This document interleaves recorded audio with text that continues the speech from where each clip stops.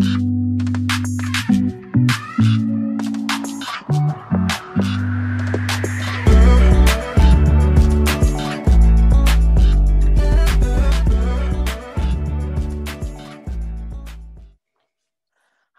today I am here with Mike Kenny, and he was in the military and is going to tell you a little bit more about himself. All right, Mike, you're up. Well, all right. As Sarah said, I'm Mike Kenny. So I'm, I'm a uh, 1993 graduate of the United States Military, Military Academy at West Point. So that was my source of commissioning. I got commissioned, commissioned as a second lieutenant in the infantry. My first duty assignment was with the 101st Airborne Division, Air Assault 3187 Rakkasans. So I spent a good couple years there. It was a great experience. I was a rifle platoon leader, a reconnaissance platoon leader or scout, and then I was the HHC executive officer, XO. So I learned all sorts of good things about logistics and things of that nature. You know, uh, supply, fueling, food, ammunition, you name it, you know, we had to provide it, you know, at least, you know, to the forward line of troops. So that was good. Um, I'd say early on in my career, I went to Special Forces Assessment and Selection. And past that, went through the Special Forces qualification course, past that, and then started a career as a, a, special forces officer. I was with First Special Forces Group out of Fort Lewis, Washington, and spent the rest of my career as a special forces officer, mostly at Fort Lewis in First Group. Did an assignment in Hawaii at the Special Operations Command Pacific, and then ended my career as an instructor at the Command and General Staff College and the School of Advanced Military Studies, both at Fort Leavenworth. That's very interesting. Sounds like you've been all over. pretty much. Pretty much. what made you decide to join the military? I, uh, you know, I thought service was important. You know, giving back. Um, my uncle, my godfather, he uh, he was he was in the service. He was an infantry guy. You know, out of Fort Riley, Big Red One, served in Vietnam. Um, so, and then my father was in the Coast Guard.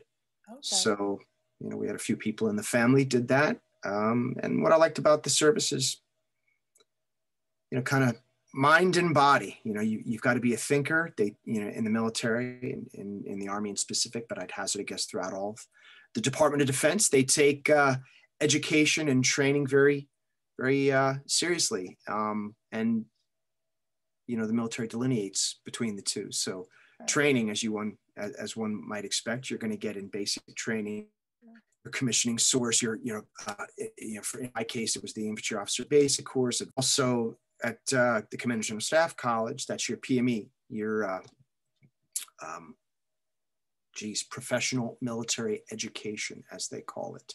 Okay. So similarly, and there's a distinction. So one is really more the physical skills, the other is broadening your mind. And, uh, you know, the military takes that very seriously. They want you to be a thinker, but then, you know, you also need to perform. So fitness is important as well. So you've got both, both. So that is good. It's kind of an all around. Make sure you're in good shape, both physically and mentally. Sound mind and sound body. That's exactly. Exactly. It. So, what was your least favorite part about the military? Well, your life's not really your own. yeah. you've made a commitment, and you know, not that it's bad because right. you've committed to an organization and a mission that you feel passionately about. So when uh, when Uncle Sam says, "Hey, here's where you're going," and and you're going, your time starts now. Execute. You know, you're like, "Oh, I had other plans." You know, you know. I remember the few times I was like, "Hey, I got my birthday coming up, Thanksgiving, Christmas." Like, "Hey, this is good." We came off a training cycle, and it was like, "No, here's what you're doing for the next six months to a year." And uh, you know, next thing I know, it's next year, and I've been gone, gone, gone, gone, gone. Which on one hand is exhilarating. It's an adventure, but on the other hand, you know, you realize, you know, you're you're not really the master of your own destiny, but that's okay. You know, that's the, right. the price of entry. You know, exactly, which is just something to keep in mind when you're making that decision. So, um, but yeah, that would have been a struggle, I would think. Uh, what was the first job you had as a kid? Jeez, delivering papers. delivering papers. Yeah, and that was great. Yeah. You know? So he just did that after school and, you know, got some good tips and was able to hand it off to my brother, you know, so. Even better. so, what did you learn from that that helped you in the future? I'd say the same thing commitment. You can't just wake up one day and say, you know, I don't feel like doing this because, you know, you've got people, they want their paper. you know, so once you've made that commitment, you know, you're like, hey, and, and as anything, it's, you know, cost and benefit, you know, there, there are pros and cons. And on one hand, you're like, hey, I want to get paid, you know, I want to make money, I want some disposable income. But on the other hand, you're like, okay, well, this is a commitment. You got to deliver these papers every day. And, you know, come you know, rain or sleet or snow, it does not matter. You will get out there and you will deliver the papers, you know. So exactly. Hey, yeah. there it is, you know. That's right. You were an essential worker way back then. you know, that's exactly it. so um, what other, did you have other education before you got into the military? You know, so through the military academy, you know, not only was obviously my source of commissioning, but you know they, they confer a bachelor's so for me it was uh, bachelor's of science in systems engineering okay got a master's through you know the, the college through the command general staff college okay. Awesome. and then you know a variety of other right. and i know you uh, started a nonprofit now that you're out of the military. Uh, do you want to tell us a little bit about that? Sure. So warriors ascent which is what i run is a 501c3 nonprofit organization that helps veterans and first responders with PTS. So, you know, I take that very seriously. But, you know, in addition to the mission, you know, I'll say even just beyond the mission, which I feel is very important, um, because I myself am, am, am, a veteran. And in terms of first responders, my brother's a policeman. Okay. So, you know, being able to help first responders, police, fire, EMS, it's very important to me. Um, I would say now more than ever. Well, right. maybe more than ever, but most certainly it's it's uh, definitely been underscored the criticality right. of mental health. Right. So you know that falls within our portfolio. You know, so a lot of what we do is is very germane and uh, very applicable to I think you know the trauma and uh, stressors that people are undergoing currently. So I, I, I'd say what we do is even all the more valuable. And then lastly, you know, one of the last things I did before I separated from the military is I went through the Kauffman FastTrac oh, program, really? which is, yeah, you know, for those that don't know, entrepreneurship. So it's a it's a 10 week or so course. It's a primer on entrepreneurship, small business. Mm-hmm. And uh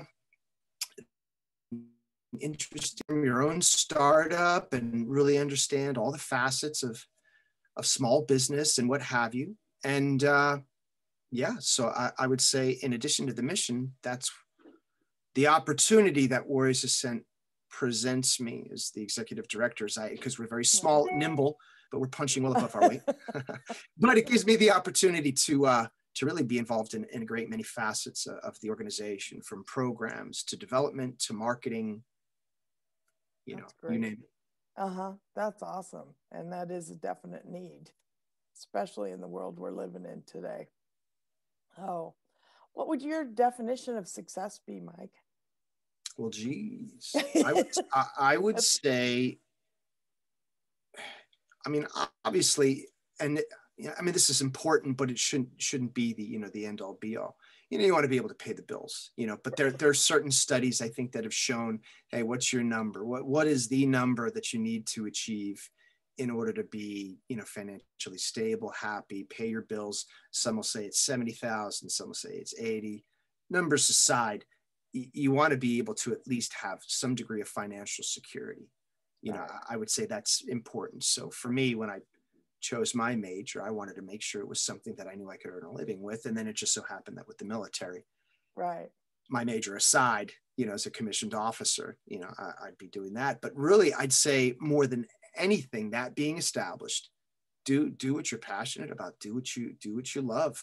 Because if you're waking up every day even if you're making money and even if you're even if you're making really really good money if you hate waking up every day and doing your job you're going to be miserable right. you know now there's a flip side to the coin i mean if you're absolutely love what you're doing but you're not making a living that's kind of a hobby exactly. a hobby. And if you can do that on the side, then that's great. You know, that's perfect. But to me, you know, success is you're doing what you love. You're, uh, you know, you're, you're making enough money to, to sustain yourself, but then also me personally, you're helping other people, you know, you're serving in some capacity. And you don't have to be, you know, saving lives and all sorts of stuff. But if, if you're making the world a little bit better, even for just one person by, you know, one service or, you know, product or whatever it might be, you know that to me i think is really the definition of success. And it doesn't have to be grandiose. You don't have to be elon musk you know?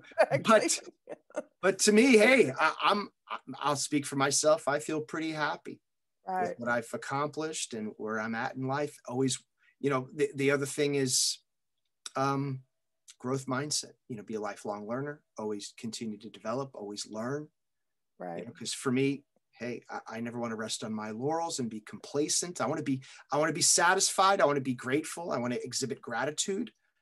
Right. but i always want to try to be a little bit better than i am today tomorrow that's great. That's great advice. So and hopefully the kids will pick that up. So well thank you so much mike. Appreciate you helping out and um, sharing your story. I'm sure it'll be beneficial to the kids. Absolutely. Well hey Take care. Stay healthy, everybody. Thanks so much.